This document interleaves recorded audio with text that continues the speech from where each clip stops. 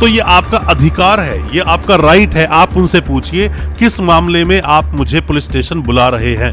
या फिर आप उनसे बोलिए, अगर आप जाना भी चाहते हो तो आप उनको टाइम दीजिए कि मैं शाम को आऊँगा या कल आऊँगा या परसों आऊँगा, क्या आपकी जायज़ वो मजबूरी है, आप उसके बारे में उसको बताइए। पर आपका ये पूछना कि किस मैटर में बुला रहे हो, ये आपका अधिकार है। कई बार आपकी स्टेटमेंट लेनी है, जैसे नोटिस होते हैं। नोटिस की अगर हम बात करें, जैसे आपने पूछा कि मेरा मैटर क्या है, अब पुलिस वाला आपको नहीं बता रहा है कि आपका मैटर क्या है तो आप ये भी बोल सकते हैं कि आप मुझे नोटिस भेज दीजिए नोटिस पर मैं आ जाऊँगा मिलने के लिए। दोस्तों, आम बर्रा की ज़िंदगी में अक्सर ऐसा देखा जाता है कि पुलिस अगर आपके घर आ जाए, या फिर पुलिस आपको बुलाए फ़ोन करके पुलिस स्टेशन में तो आपको वहाँ जाना होता है। पर उनका कॉल अगर आपके पास आ जाए तो ऐसे ही सिट्टी बिट्टी कई लोगों की गुल हो जाती है, जिन्हें कानून के बारे में नहीं पता। ऐसे कई सारे आपके अधिकार हैं जिन अधिकारों को देखते हुए पुलिस वाला भी आपको ऐसे ही कॉल नहीं कर सकता।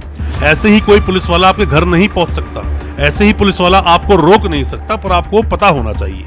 ऐसे कई सारे अधिकारों पर हालाँकि हमने पहले भी वीडियोस बनाई हैं, बट आज अपनी इस वीडियो में मैं आपको ये बताऊँगा कि अगर पुलिस वाला आपको पुलिस स्टेशन बुलाता है जैसे कॉल आपके पास आता है कि आपके अगेंस्ट कोई मामला आया है, आप पुलिस स्टेशन आ जाओ।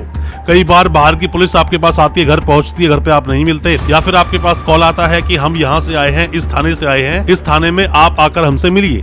कई बार इस तरह की घटनाएँ आपके सामने आती हैं। अगर पुलिस वाला आपको बुलाए तो क्या क्या स्टेप इमीडिएटली आपको फॉलो करने चाहिए? उन सब के बारे में आज मैं बताऊँगा। ऐसे पाँच स्टेप आपको बताऊँगा। अगर आप ये पाँच स्टेप फॉलो करते हैं तो पुलिस भी जान जाएगी कि आपको आपके अधिकारों के बारे में पता है और आपके साथ कोई भी घटना घटित नहीं होगी। ज़्यादा कुछ जानने के लिए अपने पाँच अधिकारों को दोस्तों बने रहिए हमारे इस वीडियो के साथ। नमस्कार दोस्तों, फिर एक बार स्वागत करता हूँ आप सभी का अपने इस यूट्यूब चैनल पर, जिसका नाम है फाइट फॉर ट्रू मेरा नाम है वीरेंद्र दोस्तों, जब भी कोई पुलिस वाला कोई आपको कॉल करता है और कॉल करके सीधा बोलता है कि आप पुलिस स्टेशन आ जाओ, इस पुलिस स्टेशन में आओ, आपके अगेंस्ट कोई मामला दर्ज तो ये आपका अधिकार है, ये आपका राइट है, आप उनसे पूछिए, किस मामले में आप मुझे पुलिस स्टेशन बुला रहे हैं। या फिर आप उनसे बोलिए, अगर आप जाना भी चाहते हो तो आप उनको टाइम दीजिए कि मैं शाम को आऊँगा या कल आऊँगा या परसों आऊँगा, क्या आपकी जायज़ वो मजबूरी है, आप उसके बारे में उसको बताइए। पर आपका ये पूछना कि किस मैटर में बुला रहे हो, ये आपका अधिकार है।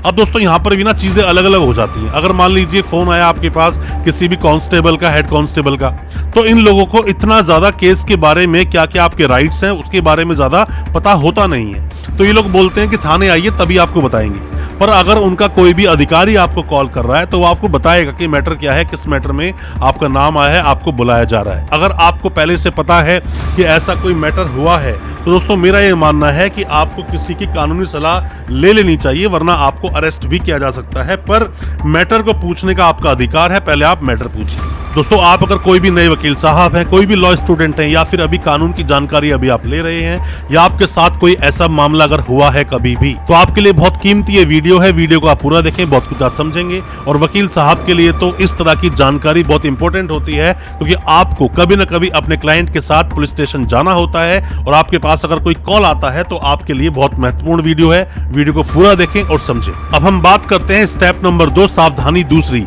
जिसमें कि आपको पुलिस वालों से डरने की की ज़रूरत नहीं है।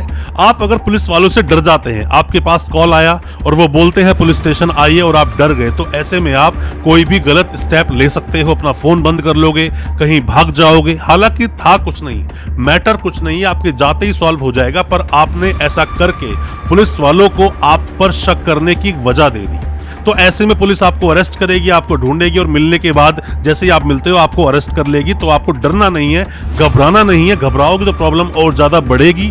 मैटर पूछिए, पुलिस स्टेशन जाइए। अगर मामला कुछ नहीं है तो कुछ नहीं होगा। सिर्फ़ और सिर्फ़ आपकी नॉर्मल सी स्टेटमेंट लेकर आपको छोड़ा जा सकता है। डरना नहीं है। अगर आप डरोगे तो प्रॉब्लम और ज़्यादा दोस्तों बढ़ जाएगी। अब बात करते हैं हम तीसरी, तीसरे पॉइंट की। दोस्तों, होता क्या है कि ज़रूरी नहीं है कि पुलिस ने आपको बुलाया है तो आपको अरेस्ट ही कर लेगी। कई बार आपकी स्टेटमेंट लेनी है, जैसे नोटिस होते हैं। नोटिस की अगर हम बात करें, जैसे आपने पूछा कि मेरा मैटर क्या है, अब पुलिस वाला आपको नहीं बता रहा है कि आपका मैटर क्या है तो आप ये भी बोल सकते हैं कि आप मुझे नोटिस भेज दीजिए नोटिस पर मैं आ जाऊँगा मिलने के लिए। तो नोटिस आपके पास अलग अलग तरह के आ सकते हैं। 160 का नोटिस आ सकता है सीआरपीसी का 160 का एक नोटिस होता है, वो आ सकता है। सीआरपीसी का 41 ए का नोटिस आपके पास पहुँच सकता है, या फिर आपको नोटिस दिया जा सकता है 91 का। अब जैसे 160 का नोटिस है तो उसमें नॉर्मली आपकी स्टेटमेंट के लिए आपको बुलाया जा रहा है। आप डर जाते हैं फ़ोन बंद कर देते हैं, यहाँ से आपकी समस्याएँ और ज़्यादा बढ़ जाती है। 41 का एक नोटिस आपके पास आया है तो ये थोड़ा सा चिंताजनक हो सकता है, क्योंकि ऐसे में पुलिस आपको अरेस्ट भी कर सकती है तो ऐसे मामलों में आपको और भी प्रिकॉशंस लेनी चाहिए, वो मैं आपको आगे आगे अभी बताऊँगा। 41 का नोटिस आया थोड़ा सा घबराने की ज़रूरत हो सकती है। और अगर आपके पास नोटिस आता है 91 का तो ऐसे में कोई भी डॉक्यूमेंट प्रोड्यूस करने के लिए, कोई चीज़ प्रोड्यूस करने के लिए बोला जा सकता है। तो डरना नहीं है, घबराना नहीं है, घबराओगे, डरोगे तो प्रॉब्लम और ज़्यादा आपके लिए बढ़ जाएगी दोस्तों। दोस्तों, अगर ये वीडियो आपको अच्छा लग रहा है तो अभी इस वीडियो को लाइक करें, ताकि इसी तरह की लाइक से हमें मोटिवेशन मिल सके और प्रोत्साहन मिल सके इसी तरह की लीगल अवेयरनेस की वीडियोस आप तक पहुँचाने के लिए। और आप अगर पहली बार आए हैं हमारे इस चैनल पर, पहली बार देख रहे हैं हमारे इस वीडियो को, हमारे चैनल को अभी सब्सक्राइब करें। साथ में लगा बेल आइकन ज़रूर दबा दें, ताकि इसी तरह की लीगल अवेयरनेस की वीडियोस आप तक पहुँच सके सबसे पहले। अब दोस्तों, हम बात कर लेते हैं चौथी सावधानी की तरफ़ कि अगर पुलिस वाला आपको पुलिस स्टेशन बुलाए तो क्या सावधानी आपको लेनी है? और ये सावधानी आपको लेनी ही चाहिए। दोस्तों, होता क्या है कि पुलिस वाले ने आपको कॉल किया, पुलिस स्टेशन आपको बुलाया। अब अगर आपको डर है कि आप जाओगे और पुलिस आपको अरेस्ट कर लेगी या फिर आपको लगता है कि पुलिस आपके साथ गलत तरीके से बात करेगी, गाली वाली देगी, मारपीट हो सकती है या कुछ भी आपके साथ अत्याचार हो सकता है।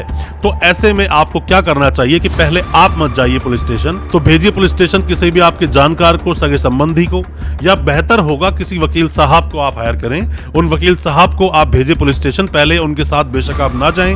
पुलिस स्टेशन जाकर वकील साहब सारी डिटेल्स वहाँ से निकाल लेंगे, क्या कंप्लेंट है, क्या मामला है, और अगर आप अरेस्ट होने वाले हो तो ऐसे में आपको बचाया जा सकता है। पाँचवें पॉइंट में आपको बताऊँगा आप कैसे बचेंगे।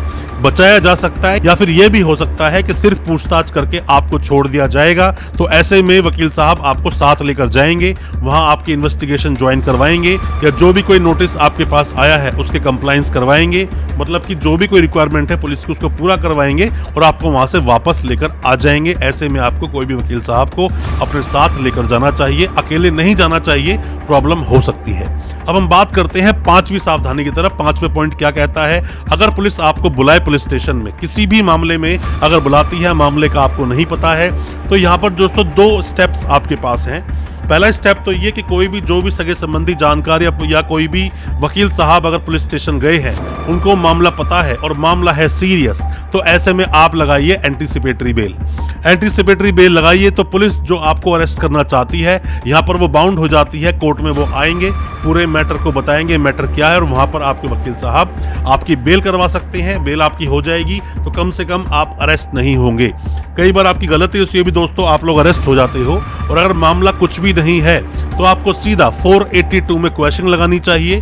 क्वेश्चन लगाइए एफआईआर के लिए, मामला कुछ है ही नहीं। बिना बात में पुलिस मुझे बुला रही है तो मामला वहाँ पर भी आपका खत्म हो सकता है।